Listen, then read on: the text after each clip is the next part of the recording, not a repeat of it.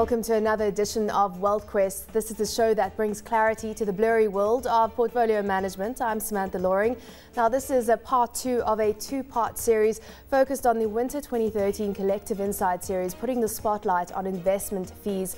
Now, ask any investors what they deem to be important, and they'll probably highlight the creation of portfolio returns after fees.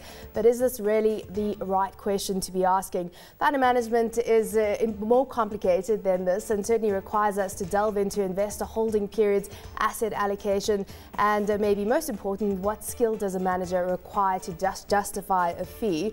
We'll be looking at some of these issues with Anne Cabot Alletzhauser, who heads up the Alexander Forbes Research Institute.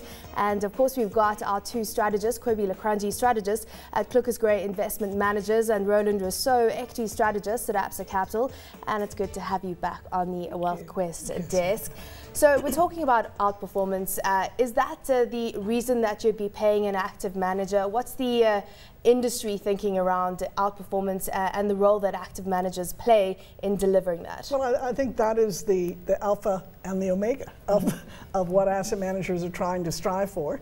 Uh, that's why they issue performance fees. They say, measure me on the basis of my outperformance. But I think if you've listened to Roland long enough, you'll hear him say many, many times that what you're paying for is not necessarily skill. It may be something that he's simply doing systematically that happened to pay off at that point in time. And the problem with a lot of these costs is that you end up on an on a incremental basis paying almost 92.7% is the fee that you're paying mm -hmm. for this, this privilege of this alpha. So do we then just jettison all active managers and say, the heck with these guys, they're not really um, delivering anything of any value? and just go out there and get a low cost index fund. And I think that really is the crux of the debate because should fund managers be paid for outperformance or should they be paid for performance that's in line with an expe realistic expectation? And should they not be paid for at least giving you a steady hand at the tiller and engender a level of trust in you to keep you invested? Because I think if if we can move the sh shift the discussion away from cost to something that you've mentioned several times, which is value destruction versus mm -hmm. cost. The real issue in value destruction is not sticking the course, not staying invested. It's chopping and changing. Mm -hmm. yeah. yeah, I mean, and I mean that's that's a that's a critical component there for me. Is sometimes we're our own worst enemy. Um, we we make decisions based upon portfolios that we've invested in because maybe things are not aligned to exactly what we thought the outcome will be in the short term. And we make those decisions often and we chop and change often at the worst possible time that we possibly can. As a matter of fact, if you look at the screen right now, you'll see a study that was done by a gentleman called John Bogle, who actually is um, used to be head of the Vanguard organization in the United States, which is a very large asset manager. And he does a study by, by asking the simple question what is the average return that an American investor is left with after investing over 25 years? Well, if the market gave you 12.3% over that period, then the average mutual fund would have achieved about 10%. But look what the average experience is for the average investor. It's only about 7.3%. And that just shows you kind of the value destruction. These are people chopping and changing. It's in essence saying, well, I'm not happy with what's happening here. I think that I could be achieving returns that are in line with somebody else's returns. Mm -hmm. Let me now swap. And of course, Roland, the problem with that is the timing of when you do swap because you perhaps could be buying into a fund or a specific allocation uh, when it comes to certain sectors at the peak and what happens after that is certainly not good for your portfolio and your money. I, I think the, the, the, key reason for this difference is that people chase return. And in other words, if a fund manager has a higher return than another fund manager, we, see, we seem to follow that fund manager, but we don't understand. And um, the definition of skill is not did you beat the benchmark or did you beat your peers? The real definition of skill is did you beat the risks you've taken? Yes. And the problem we have with this is that by chasing return, we're chasing the riskier fund managers because the way you get return is by taking on more risk. So the best fund managers are not at the top of the ranking or at the bottom of the ranking. They're somewhere in between because those are the guys that might have actually delivered consistent skill rather than a sort of shot in the dark. And I think what uh, investors tend to do is focus only on the return, and mm -hmm. that mm-hmm. creates this value destruction. Maybe this is a question that I'd like to ask maybe both of you. Let's assume the active managers worldwide charged a fairer fee over time for their services. let's assume that was the case. Do you believe that the passive industry would still have happened? And Roland. first. Ha, Oh, there we go. Well, let's, I- I'm, I'm, I'm trying to put Roland on the as, No, as no, the as the passive Ro- guy on the on the on the on the on the on the, sp- in the spot here first. interesting So- question. If the if the fees weren't if there wasn't a fee differential, would there be a passive industry? Yeah, If they were fairer, and Or whatever fairer, should fairer means, or lower uh, over time. There are two types of passive investing. There's a buy and hold strategy, which is you buy something and you don't change it. That is actually the most inefficient way of, of investing because markets change. So you're not adding anything new to the portfolio.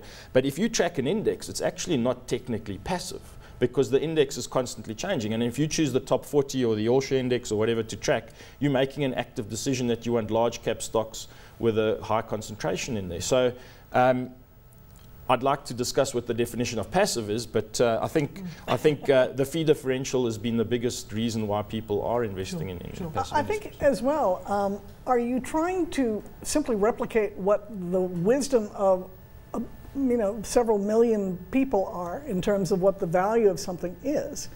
Or are you trying to operate in a market to identify things that have a very different value that, and passive, of course, is chasing the herd. You are the herd. And active is, of course, trying to take a contrarian view and to try to identify opportunities that are out there. So I think the fee differential would have, I mean, not the fee differential, the, diff, the, the two different strategies would have existed anyway because people would not have wanted to mm. necessarily. What be one or about you know? Does this not bring us to the to another point that you're making around uh, a liability manager and the role that they play in terms of your money over time? Because it's not just around you know stock picking and around you know betting on certain certain equities. It's also around uh, the overall asset allocation. Uh, I mean, talk, talk, talk to us around that. Well, I think um, let, let's get to the role of the financial planner. And we'll put that in the fee context too. If you're going to a financial planner expecting that his primary job is to run and chase performance on your behalf by identifying who's going to be the top performing fund manager, that is absolutely the recipe for disaster.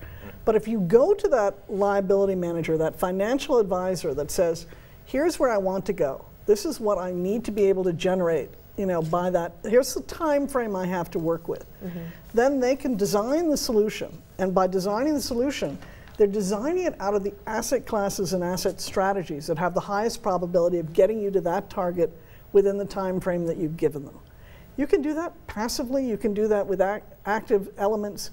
It doesn't matter. But that point of, of Departure. departure is the critical point of departure. Yep. And therefore, you need to understand when you go to a financial advisor what you're paying them for. And it's not to generate high returns, it's mm-hmm. to generate a targeted outcome that you've chosen. Yeah, I mean, you know, and we're coming back now again to the, the point that we made right in the beginning is regardless of the strategy that you follow, are you philosophically aligned to that strategy? And do you think that you're actually paying a fair fee for that at the end of the day?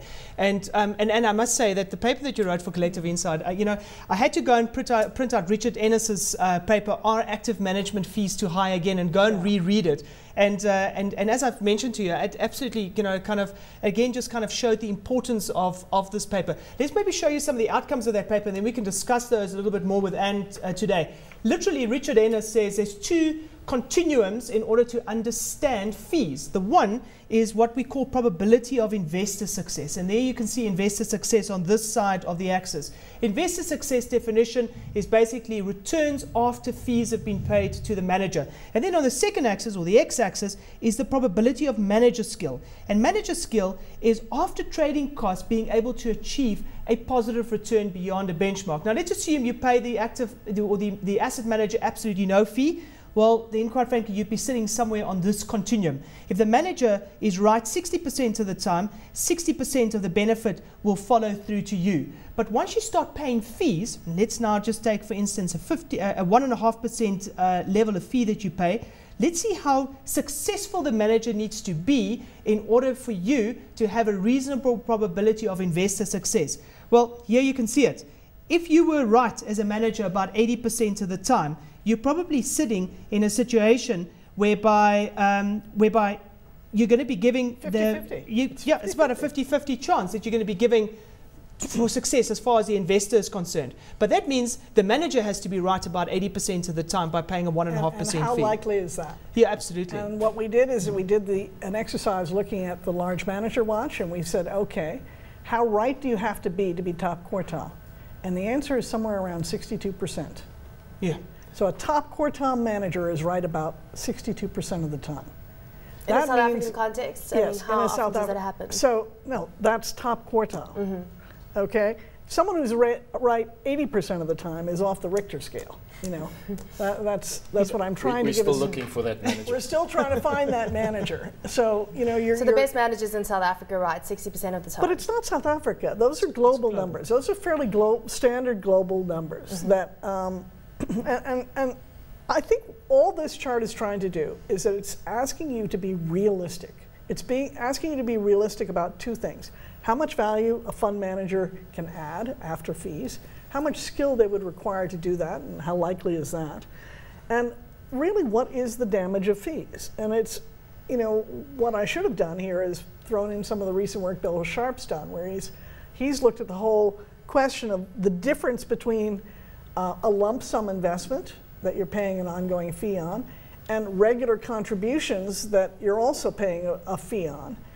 And what it really gets down to is that when you're looking at the impact of costs, what Sharpe talks about is something called the total wealth ratio. It says look at the full lifetime experience of the investor in that vehicle and what kind of destruction of value takes place because of the fees and because of the kind of contributions that you're making. And that gives you the correct picture, not that passive is at 20 basis points and active is at 120 basis points. That's not the difference. so what's the difference then between the uh, contributions on, on you know, a more regular basis and that lump sum?